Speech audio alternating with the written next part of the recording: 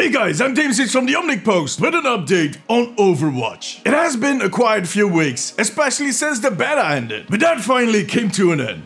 Well, kinda. See, the third and final anniversary remix event finally started this week. For those that are new to the game or have been stuck in a cave for the last 12 months, the anniversary remix events replace the previous seasonal events like Archives, Anniversary, and this time around the Summer Games. During these remix events, all of the brawls are playable in a weekly rotation, and you can earn or buy any of the event cosmetics, just like you would during a normal anniversary event. The big difference here is that we don't get any new skins. We get remixes or recolors of all the existing event legendaries. Six of them. This time around, that's Arctic Ops Baptiste, Varsity D.Va, Genji Man Genji, Megatron Pharah, Proteus 76 Soldier, and Tagged Tracer. I mean, the first remix event, there was somewhat of a theme going on in these recolors. They were all white. But in the last two, that seems to be gone. To be honest, they kinda look nice. Especially that Proteus 76 skin, that looks simply awesome. It is the perfect skin for Seoul Dynasty fans, which again proves that they could do Overwatch League themed recolors of all the legendaries at some point. In any case, case, these recolors are about as new as it gets for this event. Other than those 6 recolor skins, you can unlock old limited time event skins during the new weekly challenges. This week that is the comic book Tracer. Next week that is going to be Marammat Symmetra. And in the final week that is going to be Kyōgisha Hanzo. Try saying that three times. And that's about it for this event. For the last event ever in Overwatch 1. The next event is going to be Halloween Terror, which is going to happen at the end of October. And by then Overwatch 2 will be released, while Overwatch 1 will be a thing of the past. Now what that new Halloween event is going to look like is yet unknown at this point. But I did do a guess during the Omnic recap two weeks ago, so go check out that video if you're interested. And next Sunday I'm going to do a video on what these last weeks for Overwatch 1 will look like, or could look like. It is the end of an era, but on the other hand we have a lot to look forward to. What do you think of all these new remixes and their choice of limited time event skins? Let me know in the comments. Join me during my streams on twitch.tv slash TV and make sure to subscribe for more updates on Overwatch.